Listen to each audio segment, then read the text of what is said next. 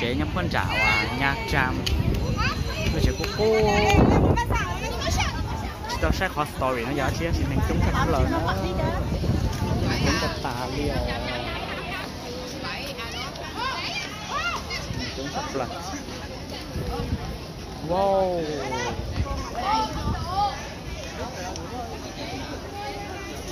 Hay chập lời vô lo chập lời 哎，以前因为我小时候练体育嘛， wow lúc chuyện nào ô chị hậu xả xả wow lọt chết ha anh cờ lu hậu xả đây đây chế ăn xin nữa không đâu có nhìn chế wow hai cờ nữa Ờ,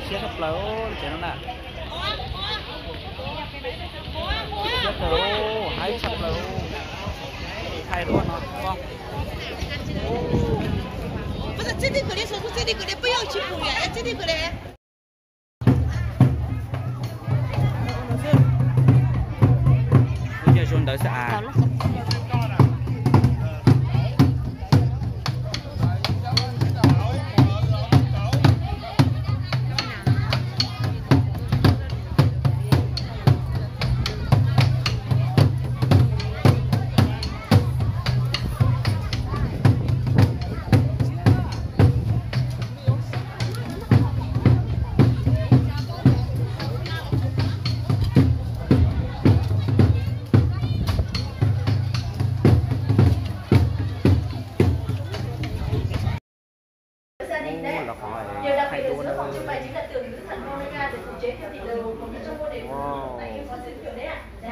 Và chế hay sao? hình ảnh của tượng cổ ngày xưa đấy ạ. Và tượng thì một người một người nữ không được để trần và người cánh tay trống đó có hai bàn tay chính.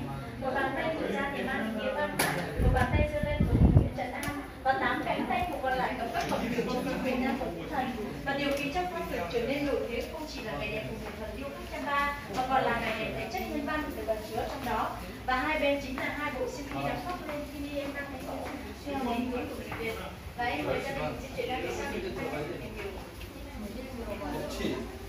야, 이게 베트남이야. 베트남에서